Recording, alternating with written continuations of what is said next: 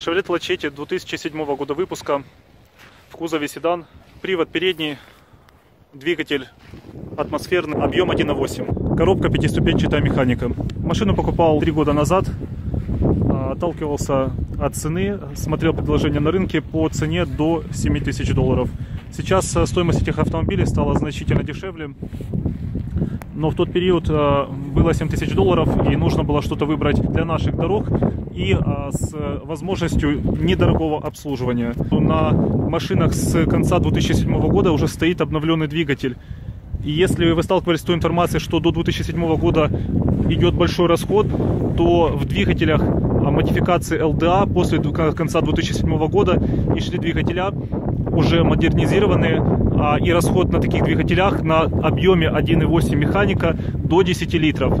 Машину брал с пробегом 115 тысяч, сейчас на одометре 195 тысяч. А, машина в средней комплектации, это комплектация SX, Лачети выпускают в трех комплектациях, то есть это средняя, тут идет э, передние стекло, э, электростеклоподъемники, кондиционер, по лакокрасочному покрытию. Вот если вы увидели на видео, то что вот на капоте идут а, ржавые моменты, там где стояла хромпланка. А капот, был заменен капот, тот был немножко подмят, то есть там потянуло замок, э, и было решение не реставрировать тот, что был, а оставить а, аналог, то, что по цене был с покраской а, такой же, как э, некрашенный оригинал. И вот на тайванском капоте а, видите точки ржавчины. Когда снимали хромпланку со старого капота, который был с самого начала эксплуатации на этой машине, никаких а, ржавых моментов по капоту не было. Кузов не гниет.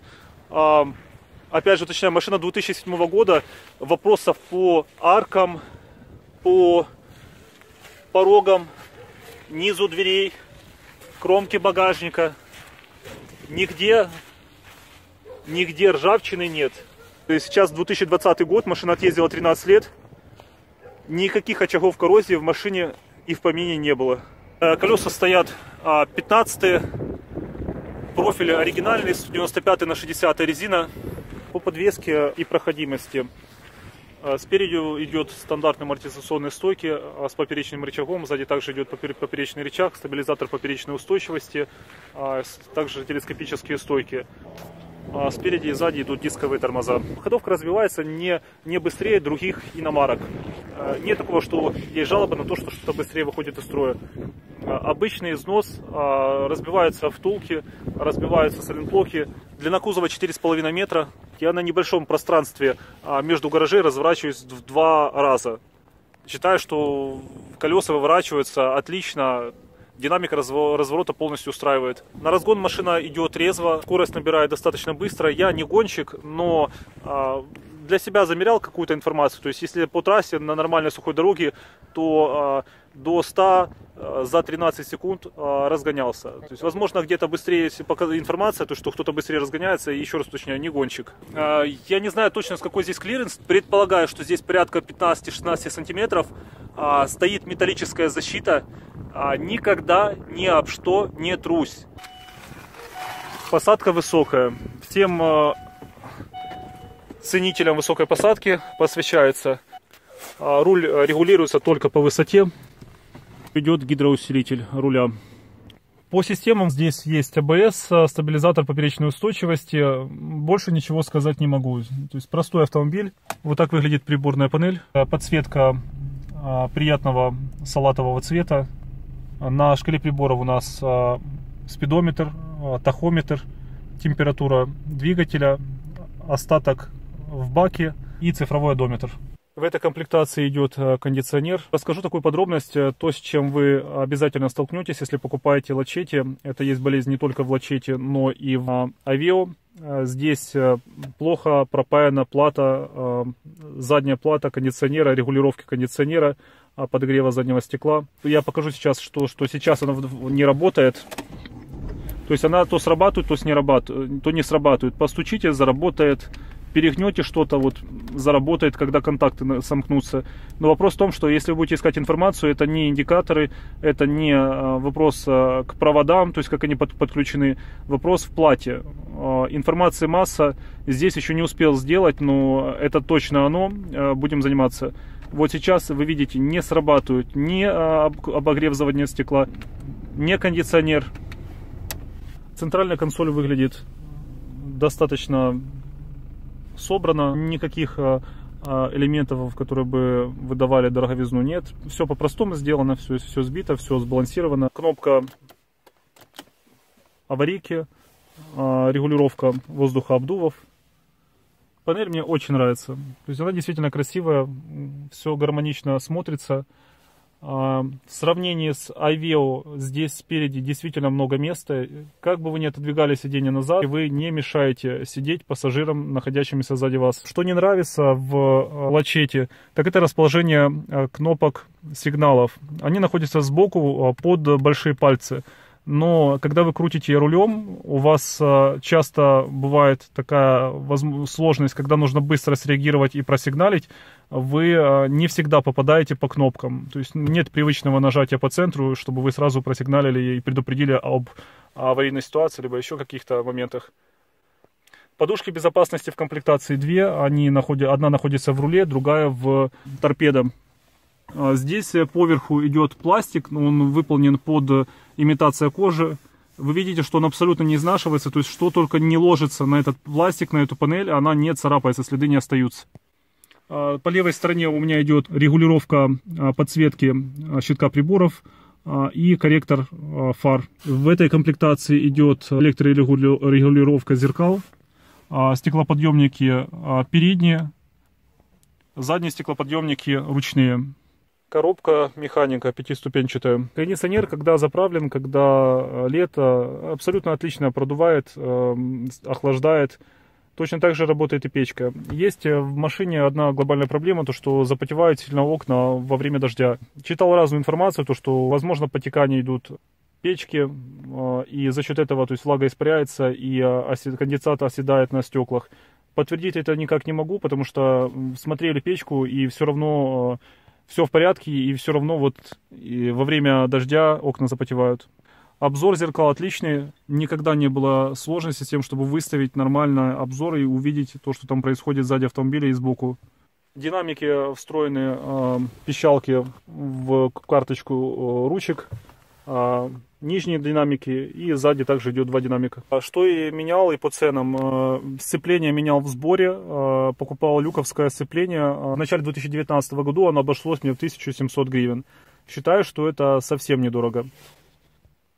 Интересный момент. Э, кнопка открытия багажника находится вот втоплена в двери, в карточке двери. И в один момент меня это спасло, когда э, взломали машину, э, вынесли то, что было на задних сиденьях, но не смогли найти, как открывается багажник. Багажник открывается вот так, нажатием на эту кнопку.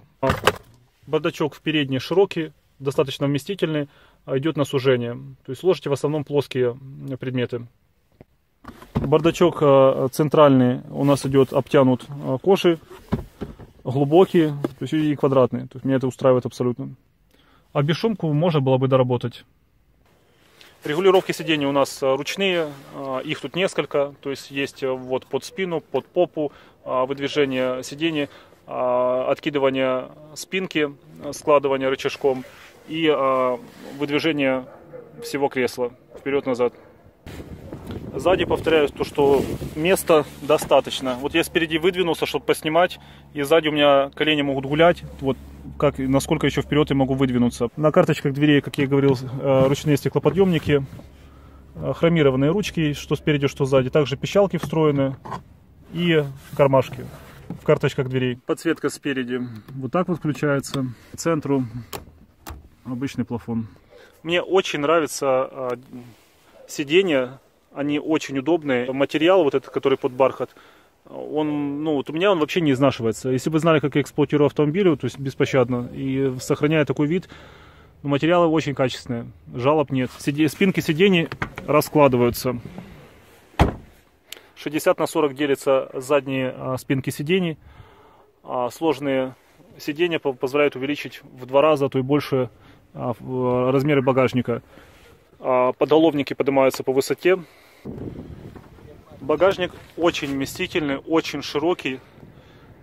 Мы возим здесь защиты двигателя здоровенные. Практически на любые машины защиты влазят. Капот у нас открывается так, вот тянем на себя. Кстати, вот еще один бардачок. Мощность 122 лошадиные силы. По двигателю то, что я сказал, то, что это уже идет новый двигатель, который LDA, экономный, а, простой в обслуживании. Вот огромная будет полезность для тех, кто смотрит это видео, у кого лачете. Э, долгое время не могли разобрать, почему проблема на холостых ходах, качают обороты. Потом это все пропадает, и э, вроде какое-то время ездишь без каких-либо проблем, и снова это начинается. Машина начинает дергаться ни с того ни с сего.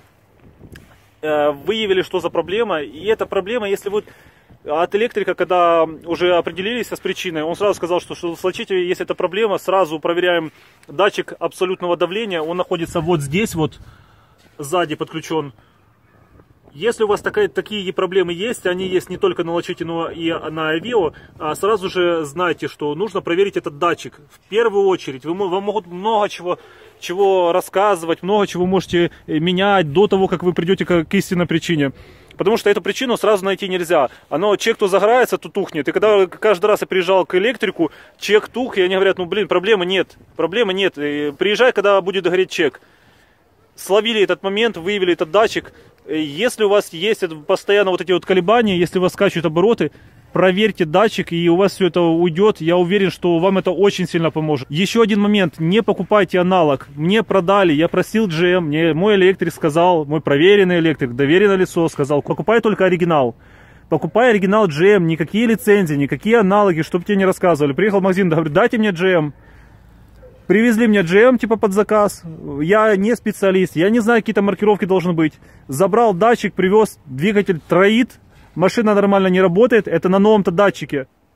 Привез электрику, говорит, э, это не оригинал, это аналог, в этом вся проблема. Купил датчик оригинал GM, проблема сразу ушла, в один миг. Повторюсь, расход на этом двигателе, который э, имеет модификацию LDA, по городу до 10 литров. Если будете писать, что у вас научите другой расход на объеме 1,8, посмотрите, почитайте информацию. С конца седьмого года идут эти двигателя. Они крутые, у них совершенно другая модификация, у них вынесены системы сбоку. А, и а, этот двигатель, расход по городу до 10 литров, по трассе до 8 литров. Так работает заведенный двигатель. Работает он сейчас на газу. Больше по двигателю никаких вопросов нет. Масло практически не берет. По двигателю больше ничего не делал. То есть стандартно менял фильтра, масло, просто обычное техническое обслуживание, а, расходники. Остался ли я доволен?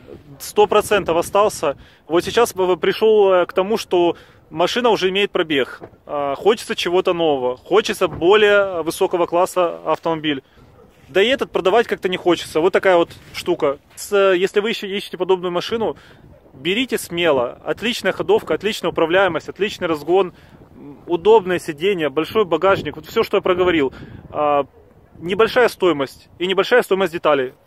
Если вас, вы ищете машину по этим характеристикам, вас этот кузов абсолютно устроит. Меня размеры устроили. Не знаю, садился в Aveo, а, многие характеристики такие же, ну, в плане того, что там а, по системам но при этом в салоне мне тесно. Вот панель не очень красивая, но мне не, не, мне не понравилось. С Лачетти только приятное ощущение. По управлению. Мне нравится динамика разгона на двигателе 1.8. Достаточно сбитая ходовая. Да, э, приходится менять расходники, то есть выходят саленблоки из строя, на пробеге я ставлю оригинальные детали в основном. То есть редко, когда ставится что-то не оригинал. Так вот, э, даже на оригинале эти детали, э, детали отхаживают эм, по 30 тысяч, наверное, не больше. Но это не есть проблема, потому что дороги у нас разбитые, то есть что имеем, то имеем. И вот динамика. Видим, что машина сразу реагирует на руль. То есть как я верчу рулем, абсолютно устойчива. При разгонах на трассе а, ее сильно не водит, то есть ее сильно не расшатывают. Вот сейчас э, ходовка, она уже расшатана слегка, но при этом то есть, особого дискомфорта это не доставляет. То есть мы слышим э, глухой стук, а, то есть передка, но это все терпимо.